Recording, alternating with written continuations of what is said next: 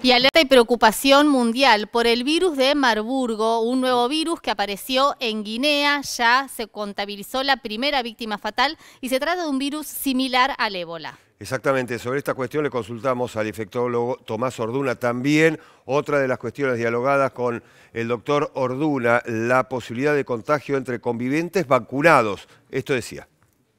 Hay una apuesta fuerte a que el hecho de estar las personas vacunadas independientemente que puedan no estar esterilizadas en el sentido que igualmente puedan portar el virus durante una semana, que es el promedio en que podemos ser infectantes para otro, esto que de alguna forma genera cierto ruido, que yo estoy vacunado, no me enfermo, pero puedo portar el virus. Lo que está claro es que esa aportación genera menos tasa de contagios, de acuerdo a este estudio que ha aparecido, versus aquel que no está vacunado, que genera mayor tasa de contagios, cuando decimos, ¿a cuántos infecto como vacunado? Aunque porte virus, voy a infectar a menos personas que si yo no estoy vacunado. Por lo cual la vacuna también termina siendo, en ese sentido, protectiva para el resto de los que no están vacunados. El lugar de, de la familia y el lugar de trabajo en lugares cerrados son los dos principales en los cuales podemos contagiar. Yo le tengo que consultar sobre el virus de Marburgo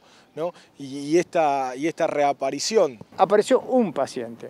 Un paciente que por supuesto está en investigación todo el resto de los contactos, tratar de tener la trazabilidad de dónde pudo haber adquirido, este, porque este es un virus primo hermano del virus ébola, que tiene que ver también un origen con murciélagos, en este caso murciélagos que se alimentan de frutos.